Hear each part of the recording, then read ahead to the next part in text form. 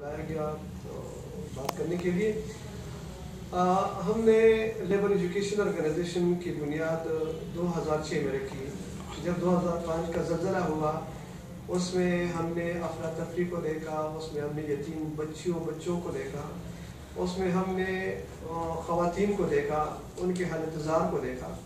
ان میں ہم نے اس زلزلے کے دوران ہم نے غریب لوگوں کو دیکھا کہ وہ ایک وقت کی روٹی کے لیے کتنے خوار ہو رہے ہیں، ان کے لیے چت نہیں ہے، ان کے لیے کہیں پہ کوئی فیسلیٹیشن نہیں ہے۔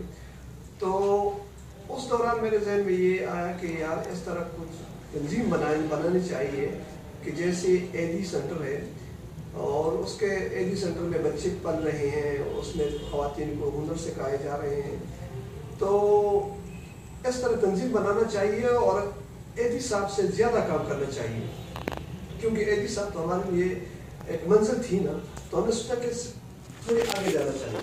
تو اس دو ہزار چھ سے ہم نے اسٹرگل شروع کی۔ اور دو ہزار نو میں ہم نے اس کا کیبنٹ بنایا، ایک نام دیا اس کو۔ دو ہزار دس میں پھر اس جو ہے نا، یہ سوشلسٹ پاکستان کے ساتھ رجسٹر ہوئی۔ اور یہ جیسے نام سے ظاہر ہو رہا ہے، اس میں ہم لیبر کے لیے کام کر رہے ہیں۔ جو غیر منظم لیبر ہیں، ان کو منظم کر رہے ہیں۔ اور جو منظم لیبر ہیں ان کو جو ایشو درپیش ہے، ان کے لیے ہم اس کے حل کے لیے ہم لیگل ایڈ دے رہے ہیں ان کو۔ اور ان کو ہم پروموٹ کر رہے ہیں کہ یہ آپ کے حقوق یہ ہے، آپ کی ذمہ داریاں کیا ہیں، آپ کے حقوق کیا اس کو دے رہے ہیں۔ اس دوران ہم ہوم بیسڈ ورکرس جس میں خواتین